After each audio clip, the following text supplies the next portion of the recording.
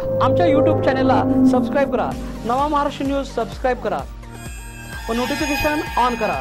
Notification on केल्याने आमचे update आपल्यापर्यंत सतत पोहोचत राहील. इसरकंजीमधील मोका अंतर्गत अटक केलेल्या लोहार टोळीचा म्होरक्या चंद्रकांत उर्फ नाना गणपती लोहार. वय वर्ष बेचाळीस राहणार जुना चंदूर रोड याला रविवारी पुणे येथील मोका न्यायालयासमोर हजर केले असता. न्यायालयाने सात सप्टेंबरपर्यंत पोलीस कोठडी सुनावली आहे. लोहार याच्यावर खून मारामारी बलात्कार असे अनेक गंभीर दाखल गुन्हे दाखल असून त्याची इचलकरंजी शहरात मोठी दहशत होती. दीड महिन्यांपूर्वी त्याच्यासह त्याच्या टोळीवर मोका अंतर्गत कारवाई करण्यात आली. त्यावेळेपासून तो फरार होता.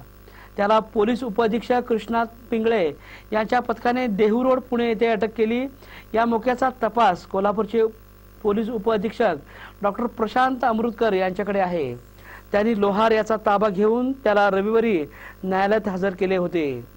आता त्याला सात सप्टेंबर पर्यंत पोलीस कोठडी सुनावण्यात आली आहे. का तर ती डिग्री ह्याच्या ह्याच्याकडे नाही. कुणाकडं? सिव्हिल सर्जनना सांगून हे सगळं चालू आहे. आणि त्यामुळे त्याचं जे हॉस्पिटल अकाउंट काढलेलं आहे त्यानं फेक अकाउंट काढलं आहे. त्यानंच फॉर्म भरलेले आहेत आणि त्याशिवाय आम्ही लोकांना करत देऊ शकत नाही. म्हणून ते आम्ही केलेलं आहे. असं त्यांचं म्हणणं जो कर्मवीर पतसंस्थेचा जो मॅनेजर आहे त्या मॅनेजरचे पण आपण त्याच्यामध्ये जाऊ आणि याच्यानंतर ज्यावेळी माझ्याकडे तपास आला तो त्यानंतर